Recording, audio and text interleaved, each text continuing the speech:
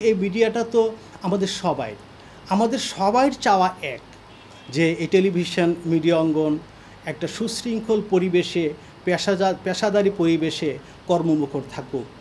তো এই এই লক্ষ্যে আমরা যে সংগঠনগুলো আছি, আমরা আসলে প্রযোজক থেকে, সংগঠনগুলো কি? সংগঠনগুলো আইন আদালত না। সংগঠনগুলা সংগঠনকে মানুষ ভালোবাসবে, ভয় পাবে না। প্রযোজক থেকে শুরু করে একেবারে একটা প্রোডাকশন বয় পর্যন্ত এই সবাই কিন্তু সবাই স্বার্থ রক্ষার দায়িত্ব কিন্তু এই সংগঠনগুলার তো এই সংগঠনগুলা থাকার অর্থ হচ্ছে, তবে আমরা চাই না যে কোনো অভিনয় শিল্পী বা কোনো এই মিডিয়া মিডিয়া কোনো কর্মী খুব অকালেই মিডিয়া থেকে ঝরে যাক।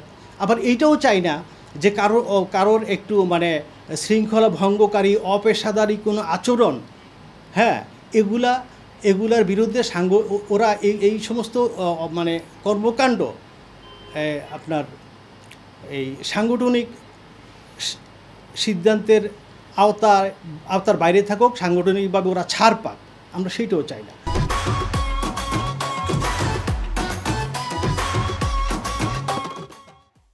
তো সো, সেই আলোকে আমরা যেই চারটি সিদ্ধান্তের কথা বলেছিলাম অনেক বিচার বিবেচনায় এগুলাই চূড়ান্ত এবং এগুলাই সবচেয়ে ভালো ছিল বলে আমরা মনে করেছিলাম।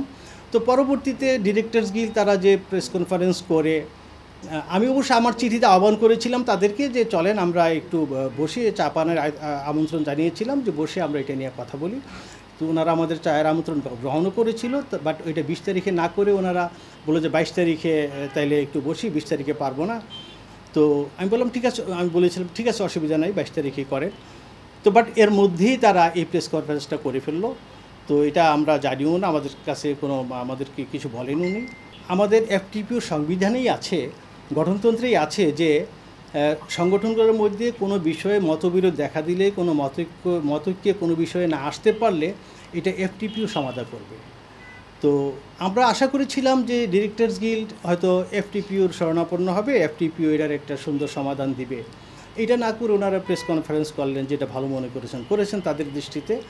তো এই, তাদের এই সিদ্ধান্তের সাথে আরেকটা জিনিস কি, এক সংগঠন কিন্তু আরেক সংগঠনের কাউকে নিষিদ্ধ করতে পারে না।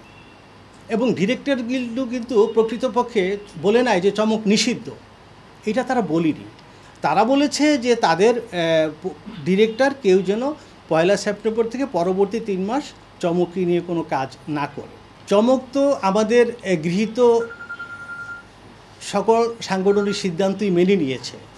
সুতরাং, এবং সেই আমাদের সাংগঠনিক সিদ্ধান্তের মধ্যে চমকের নিষেধাজ্ঞার কোনো বিষয় নেই।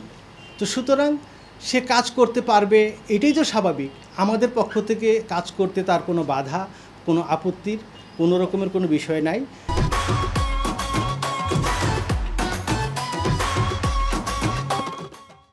এখন সে কাজ করার প্রেক্ষিতে কেউ যদি বাধা দেয়, এইটা হবে একটা কি বলব? সেটা তো সে করতে পারে না। করতে পারে না, সেটা একটা, হবে একটা অফেন্স তো সেই বিষয়টা পরবর্তীতে এটা আরও জটিল আকার ধারণ করবে। তো আমার মনে হয় না এরকম কোনো ঘটনা ঘটবে। ডিরেক্টর কি বলেছে, তাদের সদস্যদেরকে যে যেন চমককে নিয়ে কোনো কাজ না করে। তো তাদের ডিরেক্টররা না করলে অন্য কেউ যদি করে, করবে? এতে কারোর কিছু বলার নাই।